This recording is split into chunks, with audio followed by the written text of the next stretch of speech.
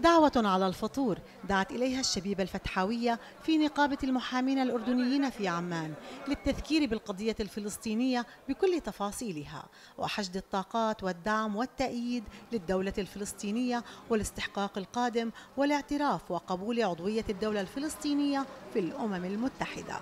نحن الشبيب الفتحوي داخل نقابة المحامين نحاول قدر الإمكان بحشد طاقات الشعب الأردني وذلك لتعزيز موقف القيادة الفلسطينية بالتوجه إلى الأمم المتحدة. أتأمل أنه يعني هذا الجهد يترجم على الأرض. في مناسبتين يوم من قدم الكتاب الطلب الانضمام للأمم المتحدة بمسيرات تأييد شعبية سواء في العالم العربي أو الإسلامي أو في المهاجر. وبتأمل كمان يوم ما بيلقي السيد الرئيس الخطاب في الأمم المتحدة يكون نفس المظهر حتى نعطي الدعم المعنوي والشعبي ليس فقط الفلسطيني وإنما العربي والإسلامي.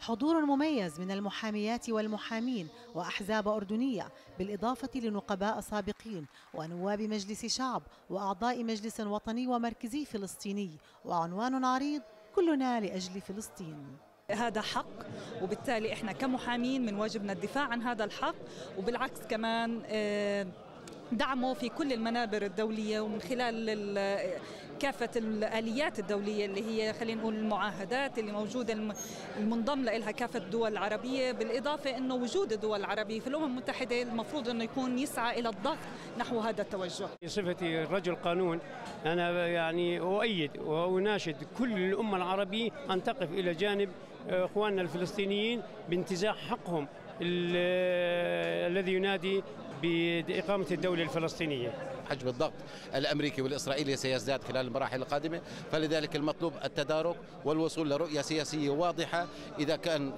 تم تقديم طلب أو عدم تقديم طلب في سبيل أن يكون هناك استحقاق إيجابي ولحصد كافة نضالات الشعب الفلسطيني في سبيل إقامة دوله الفلسطينية وعاصمة القدس إن شاء الله.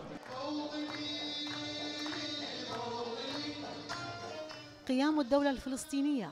ليس مجرد اعتراف قانوني بقدر ما هو بداية لإدارة صراع مركب بداية لطريق سياسي طويل ومحفوف بالمخاطر ويحتاج لعمل دؤوب لحل كل القضايا العالقة.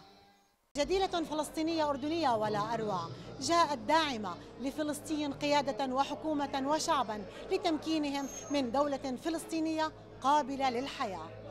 سناء مفلح تلفزيون فلسطين مجمع النقابات المهنية عمان.